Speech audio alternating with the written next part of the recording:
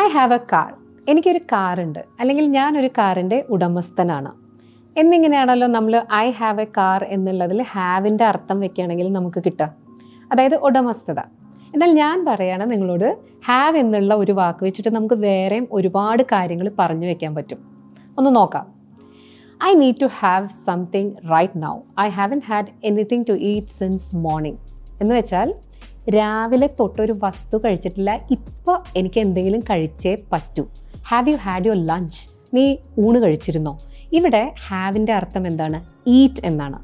ഇനി വേറെ ഒന്ന് നോക്കാം. Have a nice time at the party പാർട്ടിക്ക് പോയിട്ട് അടിച്ച് പൊളിക്കുക അല്ലെങ്കിൽ എൻജോയ് ചെയ്യും. ഇവിടെ ഹാവ് എന്താണ്? എക്സ്പീരിയൻസ് ആണ്. അടുത്തത്.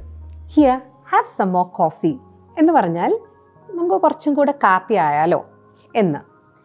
I just had a phone call from Joseph Joseph ദേ എന്നെ ഇപ്പോൾ അങ്ങോട്ട് ഫോൺ വിളിച്ചിട്ട് വെച്ചിട്ടേ ഉള്ളൂ. ഈ രണ്ട് എക്സാമ്പിളിലും ഹാവ് ഹാഡ് ഉപയോഗിക്കുന്നത് ഒരു കാര്യം സ്വീകരിക്കുക അല്ലെങ്കിൽ ഒരു കാര്യം നടക്കാൻ അനുവദിക്കുക എന്നൊക്കെയുള്ള അർത്ഥത്തിലാണ്. ഇനി അതിന്റെയൊക്കെ അപ്പുറമായിട്ട് I have a cold I have a fever എന്ന് അസുഖങ്ങളെ പറ്റി പറഞ്ഞു വെക്കാനും നമുക്ക് ഹാവ് ഉപയോഗിക്കാം. അപ്പോൾ ഹാവ് എന്നുള്ള ഒരു വാക്ക് പൊസിഷൻ അല്ലെങ്കിൽ ഉടമസ്ഥത എന്നുള്ളതോ അല്ലെങ്കിൽ ഉണ്ട് എന്നുള്ള ഒരു അർത്ഥത്തിലോ മാത്രമല്ല വേറെ ഒരുപാട് കാര്യങ്ങൾ പറഞ്ഞു വെക്കാൻ ഉപയോഗിക്കാം എന്ന് മനസ്സിലായി എന്ന് കരുതട്ടെ. അപ്പോൾ നമുക്ക് അടുത്ത വീഡിയോയിൽ കാണാം.